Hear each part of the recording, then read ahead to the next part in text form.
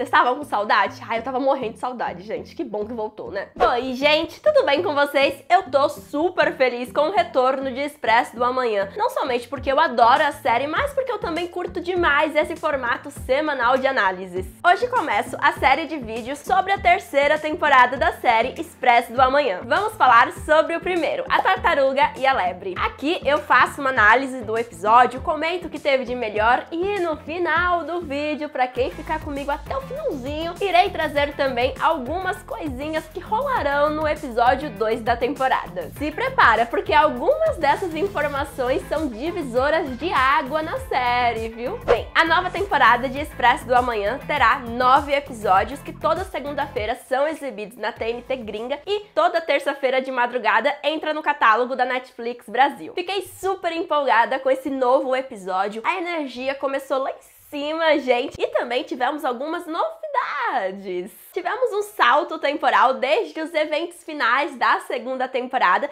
e para quem não se lembra bem, eu te refresco a memória. A Melanie estava fora da locomotiva coletando dados para comprovar aquela teoria que a Terra está aquecendo em alguns pontos, ou melhor, voltando a aquecer. A locomotiva deveria voltar e buscá-la depois de um tempo, mas o Wilford conseguiu impedir isso.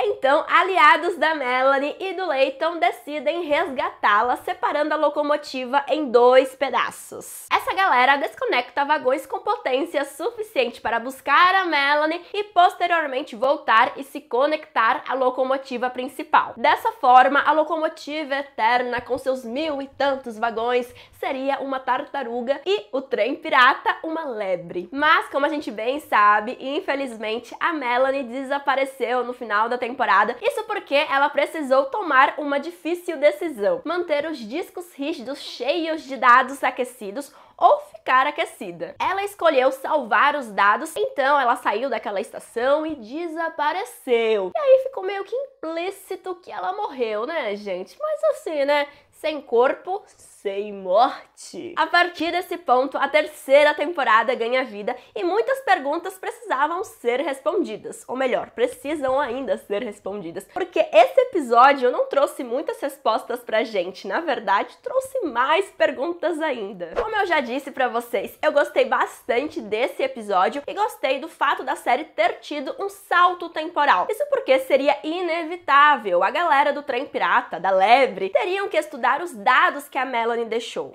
Então seria um processo meio que tedioso se a gente não tivesse esse salto temporal, porque a gente iria acompanhar a galera do Leighton indo de ponto em ponto atrás de informações para testar os dados da Melanie. Claro, por mais que o Leighton não estivesse dentro do trem, ele ainda vive de certa forma. Observamos a chamada resistência. Logo, ao meu ver, o retorno da série com esse primeiro episódio, né, já saltando no tempo, foi bem assertivo. Isso porque conseguiram conseguiram intercalar muito bem as dificuldades enfrentadas pelo trenzinho pirata do Leighton e também os conflitos do grande trem. Para aprofundar a discussão sobre o episódio, vamos falar primeiramente sobre o trem do Wilford, né? Principalmente sobre a resistência. Sem o principal líder dos fundistas e dos trabalhadores, o psicopata do Wilford decidiu manter o trem como ele bem queria sob as justificativas perfeitas. O Snowpiercer pouco a pouco estava estava perdendo a potência e era necessário recuperar os trens roubados. Então, nesse cenário, é fácil Wilford exercer controle. É uma situação bem atípica. Observamos também que o Snowpiercer ficou praticamente respirando por aparelhos, né, gente? Lutando literalmente contra o congelamento. Os canos de água estão praticamente congelados.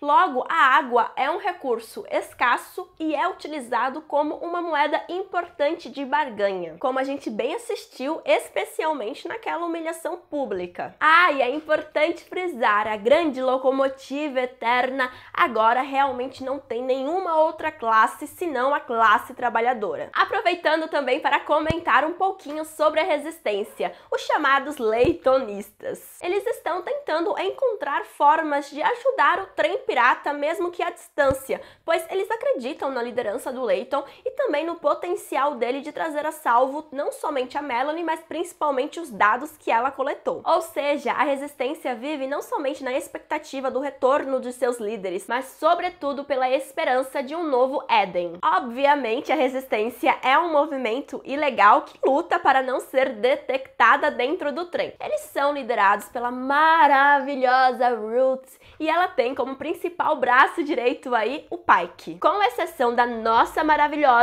todos os outros leitonistas seguem expostos dentro do trem. A personagem, sendo a cabeça do movimento, corre altos riscos e vale lembrar que no finalzinho da segunda temporada ela era prisioneira juntamente com Leighton, né? Logo, o Wilford tá numa caçada atrás dela. Inclusive, em um dos trailers da temporada dá para perceber que a personagem vai passar por altos perrengues e, gente, talvez um dos braços dela tenha os dias contados.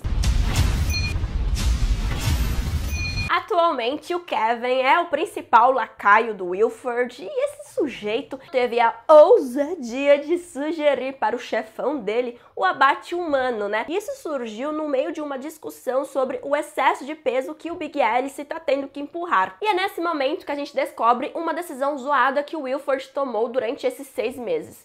Uma das decisões zoadas que ele tomou, na verdade. Ele decidiu manter a primeira classe em vez de desativá-la, ou seja, soltá-la, cortá-la. Esses vagões estão congelados, mas ele não quer soltá-los, porque ele diz que quando a Adway voltar, eles irão recuperar a glória daquele lugar e blá, blá, blá, blá. Ou seja, esses vagões são um peso morto e a locomotiva não deveria se preocupar em empurrá-los. Facilmente poderiam ser descartados pelo meio do caminho. Tivemos a inserção de novos personagens dentro da grande locomotiva de mil e tantos vagões e também tivemos o retorno de um personagem que provavelmente você e eu, todo mundo, achou que deveria estar morto já. O Javier, né? Porque, coitado, ele sofreu um pouquinho, né, no final da temporada passada. E agora é totalmente compreensível a posição dele, né? O bichinho tá lá imóvel, tocando a locomotiva e nem se mexe, porque o Júpiter tá do lado dele. Eu entendo Javier, não julgo. E agora vamos falar sobre o trem pirata.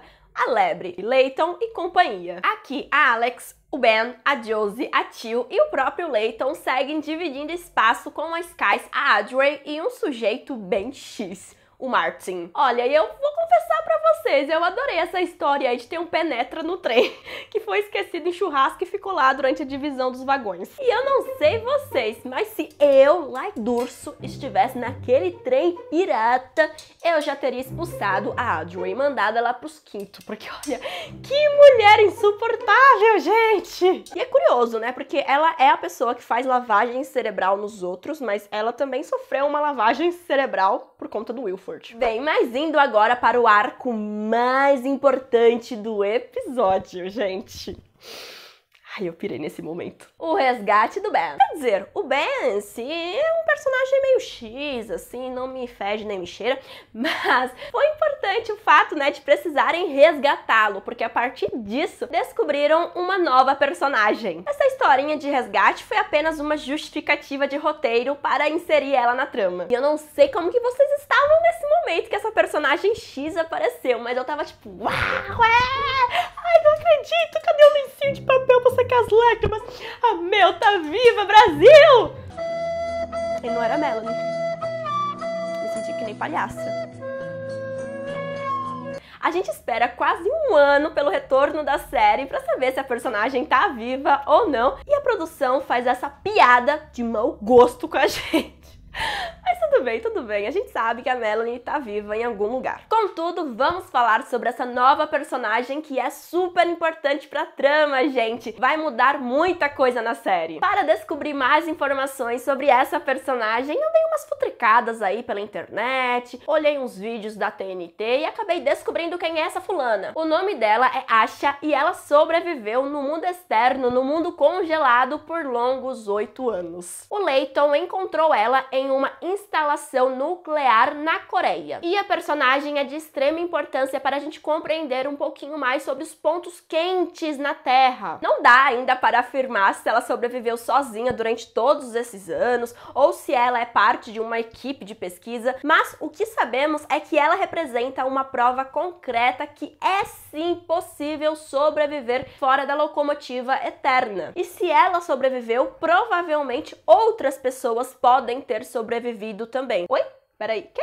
Sinal que a Melanie também pode estar viva. Outro ponto crucial do episódio foi aquela visão do Leighton, onde ele vê uma área super seca e uma grande árvore no centro. Eu tive que pesquisar, porque eu não entendo muito de árvores, tá, gente? Mas eu descobri que aquela árvore é uma árvore dragão, que é mais comum na costa africana. Não dá para afirmar por que, que o Leighton teve aquela visão. Pode ter sido porque ele estava sem oxigenação no cérebro, ou então porque ele estava tendo algum envenenamento por conta da da radiação? Pode ser. Mas o mais importante de tudo isso é que aquela visão representa o desejo dele de encontrar um novo Éden. No fundo, no fundo, ele acredita e quer que a Melanie esteja correta, que existe algum lugar na Terra que esteja passando por um reaquecimento e que possa possibilitar a vida. De toda forma, dá para observar no teaser do segundo episódio da terceira temporada que a Ruth faz um comentário sobre o chifre da África. Ela pergunta para algum personagem se aquela pessoa realmente acredita que aquela região pode suportar vida. The Horn of Africa. Really?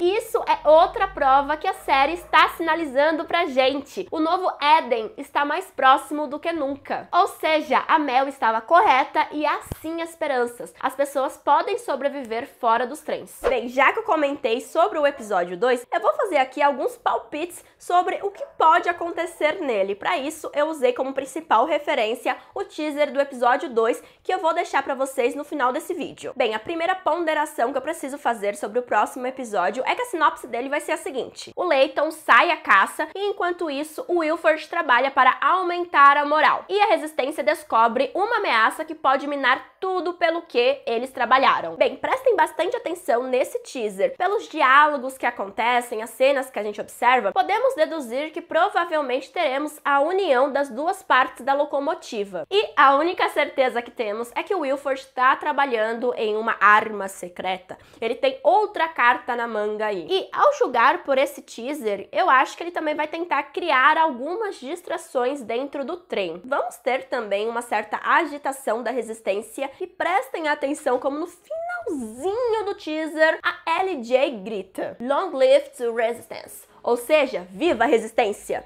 Long live the resistance! E aí eu fiquei com uma dúvida atrás da orelha. Será que essa bonitona aí vai se passar por parte da resistência para ser uma informante do Wilford? Talvez. Ah, e prestem atenção, a Zara também parece que entrou aí em trabalho de parto. Será que vai ser agora que o Leighton vai virar papai? Pelo que eu pesquisei, acho que não é nesse episódio que ela vai ter o bebê dela, mas nunca se sabe. Bem, pessoal, eu gostei bastante do ritmo desse primeiro episódio, voltou com tudo a temporada e eu tô super ansiosa para os outros episódios. Acho que tem que ser assim mesmo, chegar com tudo, entendeu? Chegar entregando logo a localização da Melanie, porque é isso que a gente quer saber. Bem, pessoal, se você gostou desse episódio, comenta aqui embaixo o que você achou dele, comenta também as suas teorias para o restante da temporada. Eu te agradeço por ter assistido o vídeo até agora e não esquece, se inscreve no canal se você ainda não é inscrito, porque toda terça-feira eu vou soltar análise. A gente se vê em outra oportunidade e ó, beijinhos e tchau, tchau!